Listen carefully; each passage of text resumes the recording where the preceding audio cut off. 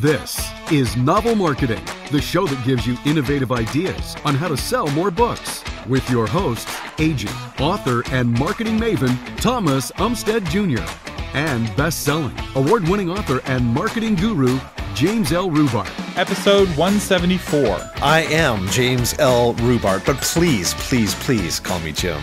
I'm Thomas Umstattd Jr. And in this episode, we're going to talk to you guys about the one thing every successful book launch needs. That's right. In honor of registration for the book launch blueprint being open, we're going to be talking about book launches. What a coincidence. I love that. and every successful book launch needs this one thing, and that is wait for it drum roll a written plan. so it doesn't matter if you're going through the blueprint, it doesn't matter how you plan to launch a book. You've got to make a plan and you've got to write it down. Uh, it goes without saying, but authors who fail to plan are planning to fail. And so if you want a successful launch, you need to have a written plan. When you guys are doing outlines for your novels, I mean, a lot of you write it down. Even if you're a pantser, you end up writing it down. You do a sequence of events. I send my publisher, okay, here's the timeline, right? You guys know this. You've done it. It's even more critical. Yes, I'm saying it's even more critical to write it down in your launch because it gets very complex and you can miss elements. It's like, yeah, the car maybe can go down the road when it's missing a tire, but not too well. And so we are going to uh, talk today about some of the elements that you have to write down. And we're going to bring back a tradition, uh, novel marketing podcast. We used to once a month or so have a free monthly resource uh, for our listeners, and we are going to do that the, uh, for this episode. So we're actually going to have a template a plan that you can download for free from Novel Marketing. So just go to novelmarketing.com forward slash 174 put in your email address and you will get a download link to download a Word document version of this that you can use uh, without having to pay any money. So, this is like the starter uh, version of uh, the blueprint, if you will, and you can. Uh, get started with the plan, and uh, we'll go straight. Well, basically, we're going to go through this outline uh, this like quick start uh, outline. And the first is section one preparation. Uh, so the goal of this first section is to start uh, basically to get the launch pad ready. Uh, so if you think about a rocket taking off, the first thing that you have to do if you want to send a rocket to space is build a concrete flat foundation so that right. when the rocket takes off it goes off in the right direction and you know things aren't sliding into the mud and it's going off sideways and exploding on the ground you don't want that a good launch requires a good foundation and so these are things that typically happen 2 to 4 months before your book takes place uh, or longer if you have more time. Obviously, the more time you have, uh, the better you can do. But we're recommending two to four months. Uh, so this is before the actual launch starts. This is the preparation and some sample tasks. And and I should say real quick before we get to these sample tasks, uh, these are uh, suggested tasks. We're not saying that everyone should do all of these. These are, and we're not saying that you can't do things that aren't on this list. In fact, there's a lot of things that aren't going to be on this list. You probably should, yeah. Yeah, you you need to be playing to your strengths. Uh, you need to be avoiding your weaknesses. This is not the time to try to turn a weakness into a strength. This is the time to really lean in on who you are and what you do well. Um, but th- we're just going to give you some ideas of some things that you would put in this first section. Uh, and the first one is tweak your website. Yeah, we have an entire session on this in the book launch blueprint, but real quickly, you need to go in and do things as simple as make sure all your links are working correctly. Make sure all your links are going correctly to the places that you are selling your book. You want to make sure your newsletter onboarding sequence is ready to go for people who are coming maybe to your website for the first time, exploring your book, want to know more about you. You want that working well. You probably want a set of eyes to look at it that is not familiar with your website and get impressions, get critiques that way. This is the time to spit and polish your website and make sure there are no glitches, no bugs. And it might even be the time where you go, you know what? I might need a little refresher in terms of your content, in terms of your visuals. This is the time where you're going to the car or you're going to the rocket and going, we need a tune up. We need to make sure all engines are firing correctly. We have a lot of episodes uh, here on the podcast on how to have a better website. Uh, but one tip that I don't think I've mentioned in those episodes is if you're using WordPress, there's a plugin called the Redirection Plugin, and it will track 404 errors on your website, which will help you detect bad links or old links that you may not even know about. And you can turn those 404 errors into 301 redirects easily and simply. And this is a free plugin. So we'll have a link to that in the show notes for the redirection plugin. I really like it. I find it really helpful. And it's a really great, it's the sort of thing that is good to do when you are not in a hurry, right? Because it takes a while. Once you turn on the plugin, it starts logging those 404 errors. So it's not something you can do right away, but it's great laying the foundation. Uh, the, another sample task uh, would be to optimize your Amazon page and more broadly your Amazon presence. So, your other book pages, your author profile on Amazon, you want to um, have your Amazon page pristine ahead of launch. And again, we have an entire session on this as well in the blueprints. So you're like, I don't know what to do. In the book launch blueprint, we talk about how to do this. But again, you don't need the blueprint to look at your Amazon page and, and ask the question would this impress a stranger? Would this make sense to a stranger? Yeah, it does not have to be complex. You do not have to be tech savvy to do this. For example, it might be time to update your author bio. It might have been a while since you did that. Go in and take a look at that. You might want to redefine your categories and see, are my categories really syncing up with what my book is about? And as Thomas said, we teach you how to do this in the course in detail. But even if you're just doing those simple things, it will improve. Uh, another uh, sample task is to start scheduling media interviews, start reaching out uh, to journalists and influencers, depending on the media outlet. Sometimes you need months of lead time. So if you want to get booked three months from now, now is the time to start having that conversation. And this is definitely the time to start doing research on uh, who you want to reach out to and stay subscribed to the novel marketing podcast because we are bringing on a pr person here very soon we've already recorded the interview we're going to talk specifically about how to get media interviews so we're not going to tell you when it's coming but it's coming soon so we'll have a lot more about that right here on the podcast. Another thing you can do is schedule your blog posts. You want to schedule these far out. When I have a new book launching, I'll schedule blog interviews six months out. So those of you who are saying, "Oh, I only got four months to go," okay, great. Do it now. The best time. What's that old cliche, Thomas? The best time to plant a tree is 20 years ago. The next best time is today. If you have not scheduled your blog interviews, do it now because some of the best blogs fill up quickly. They do six months at a shot and then they do another six months and those slots go very fast. So we encourage you reach out now and schedule those blog posts. This is also true for podcast interviews. A lot of the top podcasts record several months ahead of time.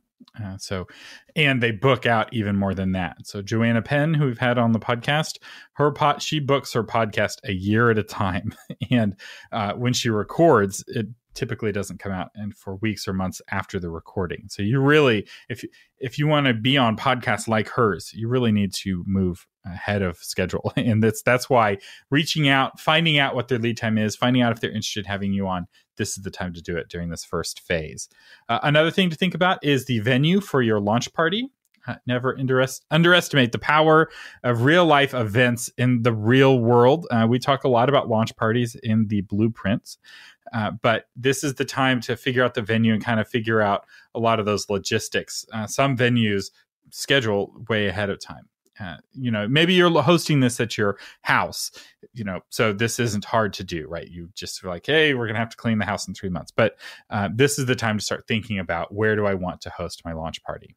Uh, the next thing is to recruit your launch team. Uh, so you don't want to rush this. You want a good launch team. Yeah, this can make or break your book launch, and you know this, but it's so easy to put it off, especially for introverted people. It's like, ah, I don't want to ask for help. I, I feel bad asking. I'm not sure they're getting enough. Ask them and trust if they don't want to do it, they're going to say no. And by the way, as you prep your launch team and you start interacting with them, you will see the superstars. It'll be very evident very quickly. And for the ones that just aren't interested, you give them the grace to go, well, is this going to work for you or not? And sometimes they'll say, yeah, I, I didn't know it was be this involved. You go, great. Thanks for, thanks for thinking about it. And you let them go, but be active. Start developing that launch team now. And remember, some people, authors have said to Thomas and I, well, God, I could only get a launch team of five people to help me you know what? a launch team of five is better than a launch team of zero. And even five people, if directed well and you invest in them, can make a huge difference in your book. And in the in the blueprint, we go into details how to find a launch team, how to incentivize them, how to get them to be just raving fans. And so this is just a, a quick blurb on how you can do that. But we encourage you to make that uh, a priority task. And I'd still rather have a launch team of five zealots than 50 people who just want a free book. so uh, it's it's not about the size of the dog in the fight. It's about how much fight is in the dog. so it's not about how many people are in the launch team. It's about how much launch is in the team. I, I don't know. I guess that that doesn't quite work. it's breaking down, but I like it. it's breaking down. It's breaking down. Okay. Uh, the next thing is the email list. We talk a lot about this on the podcast. Uh, we have a whole session on it in the blueprint. Uh, but right what you're wanting to do in this phase is get that email list as big as possible uh, of, of the right people you want uh, a good sized email list because the bigger the list the bigger the launch uh, email converts far better than any other form of uh, communication with your readers in terms of book sales. Trackable book sales email is the gold standard. We're not just going to talk about email in this launch. We only spend one day talking about it, but we are going to focus on it one day teaching you how to build that list and how to use it, you know, how to plan out those emails uh, when they come out. But again, this is a topic we cover a lot right here on the Novel Marketing Podcast. And then the final task, suggested task, in the uh, this first section is optimize your Goodreads page. Jim, on Facebook, you have a lot of people that have been reading one or zero books a year for years and years and years. Those are not your target, obviously, and yet Thomas and I find author after author that puts a lot of energy into Facebook or, or say Twitter or these kind of places and ignore Goodreads, which is a place where the only people that are there are people who love, love to read. They're not casual readers. They are intense readers and they will give lists of the books they've read and they will rate and they will promote. And so Goodreads really is a gold mine for you to go in, take the time to learn it, take the time to optimize your page, take the time to make it a situation where when people come to your Goodreads page, they will be engaged. We talked about optimizing your Amazon page just as important to optimize your Goodreads page because this is where word of mouth can really spread. If somebody likes you, they're going to talk to other Goodreads people about you, reviews, etc. So we go into detail again in the in in the launch program about this. But if we can give you one tip, it's for those of you who have just dipped your toe in the water, we invite you to go fully in and figure out the power of Goodreads. We also have some episodes on Goodreads. In fact, some of our very first episodes we ever recorded for novel marketing were on uh, Goodreads back in the olden days when we had to chisel our podcast by hand. Long ago and far away. All right. So that's section one. That's the preparation. Now let's talk about pre launch. This is the month leading up to the big day. And the, the goal here is this is when you are doing your countdown um, to use that rocket ship uh, metaphor, right? The gas is starting to come out of the tanks, and you know you're strapped in and you're you know ready to blast off. And the whole idea is that you're building this momentum for the big push, where you start to rise uh, up into the stratosphere. Uh, okay, maybe we're butchering this. I'm just butchering metaphors today. but um, anyway, some things you do here. You start planning your launch party uh, you start uh, scheduling those pre-launch interviews. So some of the ones you were reaching out to earlier, now you're starting to schedule them and get them on the calendar. This is when you draft and start sending out your pre-launch email sequence. Uh, these are the emails that kind of warm people up for the book. You don't want to just send buy my book, buy my book. You know, ten days, five days, two days. That's not enough. You you need to have a, a more intentional, longer term plan for your list. And this is where that comes into practice. And this is where you activate your launch team. This is when you start that launch team that you recruited, you had your sign up form, and you figured out who was going to be earlier. Now is when you start giving them activities uh, and uh, actions to start doing. Yeah, and this whole idea, let me just go back to this for a second. This launch party, actually having a physical live launch party. That's kind of gone out of vogue. A lot of people are like, "No, I'm not reaching enough people. I've got to do the I've got to do the online party. That's going to reach a lot more people."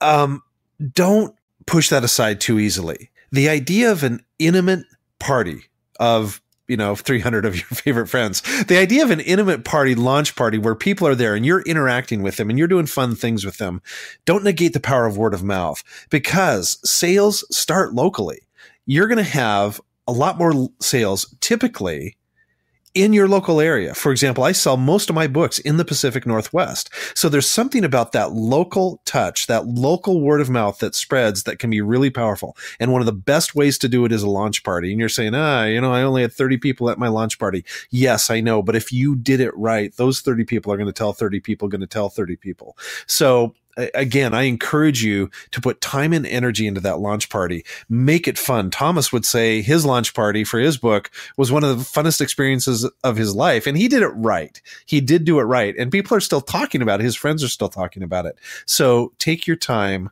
to put some energy into that. And again, in the in the uh, launch course, we do talk in some detail about how you can make your launch party extremely successful. And we also talk about online launch parties as well. So just because you have an in person party doesn't mean you can't simultaneously or in addition have a Facebook party. Uh, but I do want to add for those of you who are traditionally published, uh, launches are even more important because uh, Barnes and Noble, you know, if they don't sell your book in the first 30 days, they send your book back to your publisher and your book is dead, almost never to be revived at that point. So those first 30 days are critical. And I will say this uh, one of the things I've learned about Barnes and Noble is that uh, recently, when they order books, they often will send those books to Barnes and Noble locations nearest to where the author lives.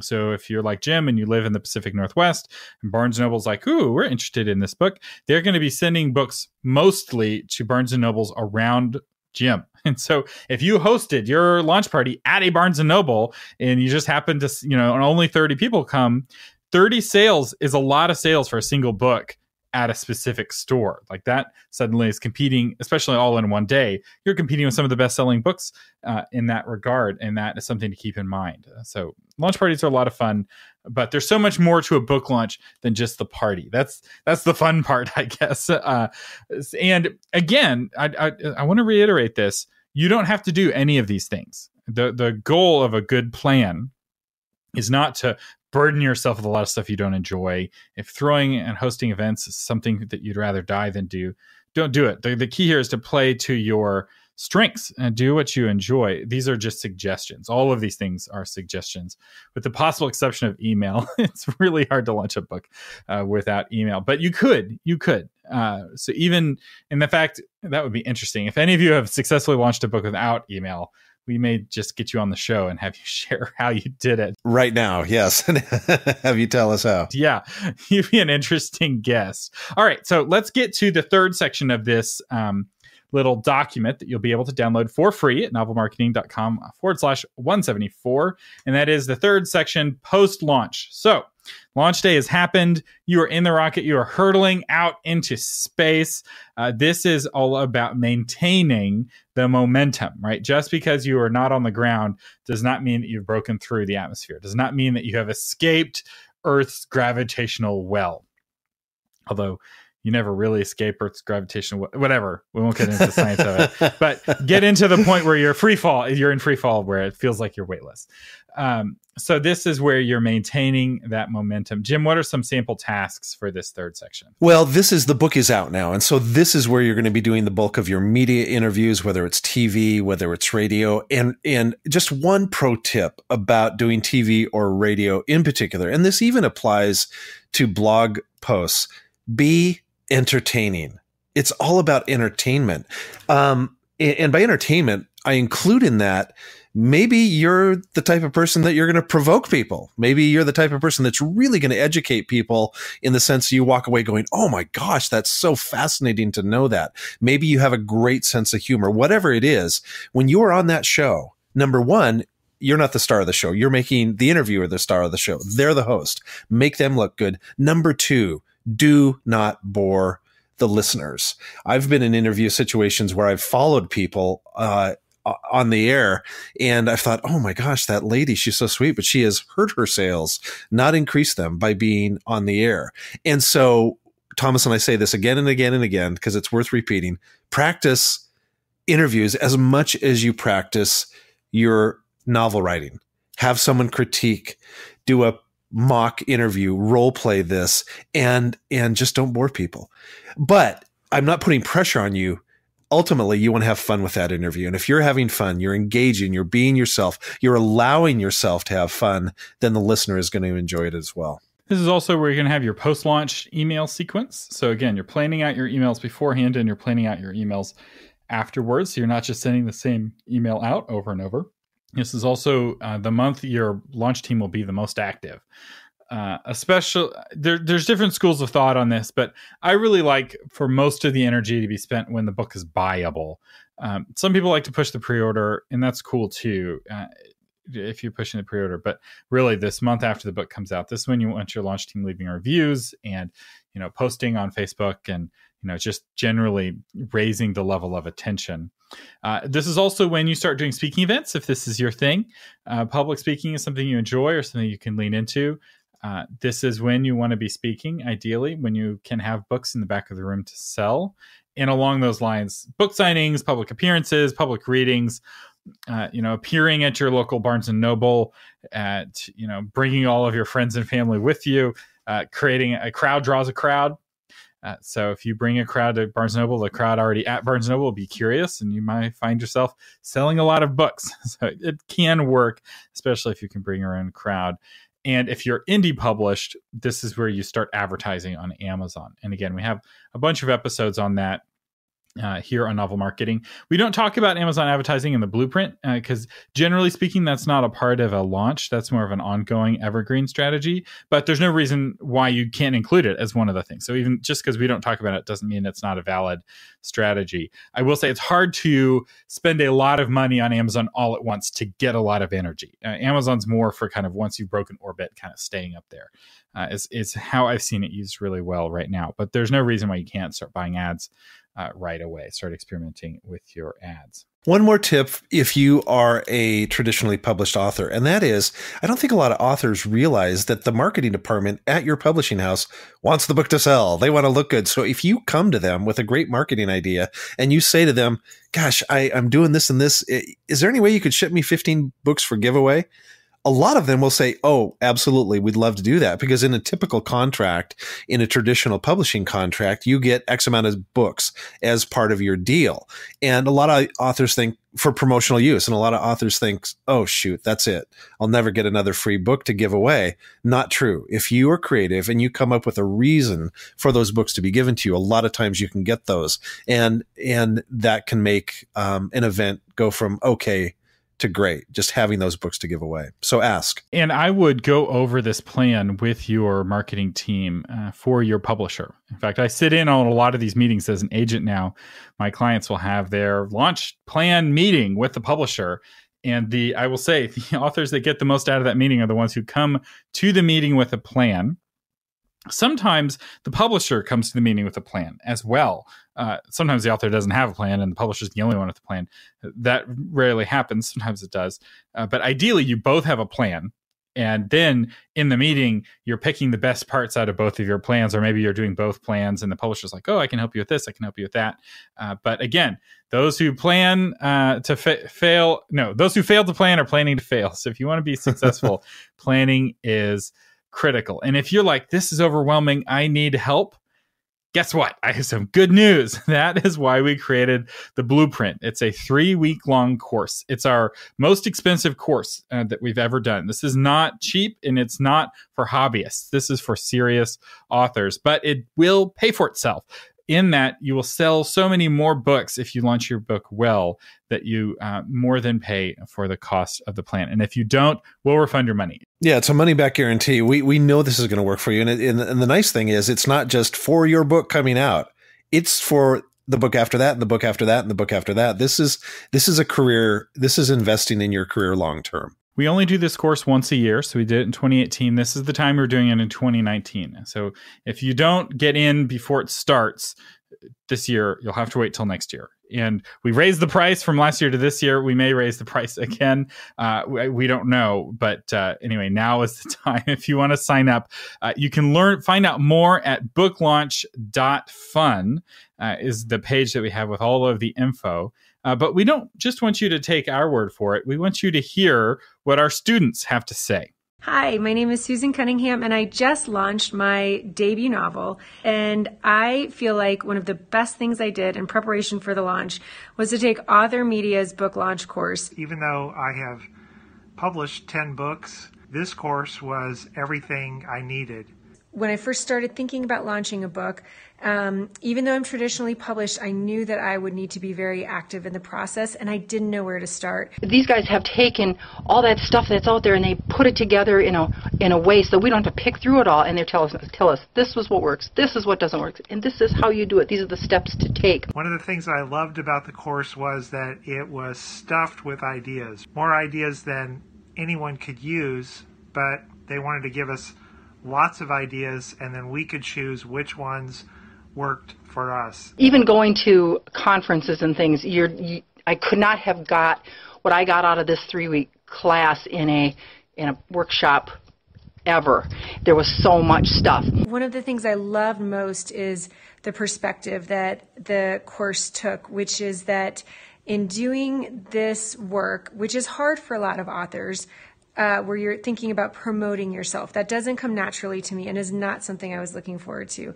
But in doing this work, you can look at it as a way to serve others, to really bring them something of value. And that really just flipped everything upside down for me and made all of it so much easier. The instructors, Jim Rubart, Mary DeMuth, Thomas Umstattd, each brought a unique perspective to this. They're experts in it. They've all done this successfully. They make like this little trifecta of personal mentor, teacher, and cheerleader. They gave me so many things that I could put into practice right away. And not only the tools, but the explanation for how to use those tools. So if you're thinking about the course, I would highly recommend it. Best of luck in your journey to publication. So there you have a few comments from students who have already gone through the course and we would love to see the same type of results happen for you. And we we know they're going to happen or we have high belief they're going to happen. And again you have that guarantee if you say ah gosh this this wasn't what i was uh, expecting it to be we will give you your money back. Now the question of when is this happening? It's happening february 11th through march 1st registration is open right now but it does end at 11:59 p.m. on the 10th. So our suggestion is you go and register or at least check it out right now. And again, the website is booklaunch.fun. You have been listening to James L. Rubart and Thomas Umstattd Jr. on the Novel Marketing Podcast, giving you innovative ideas on how to promote yourself and your writing offline, online, and everywhere in between. Thanks for listening.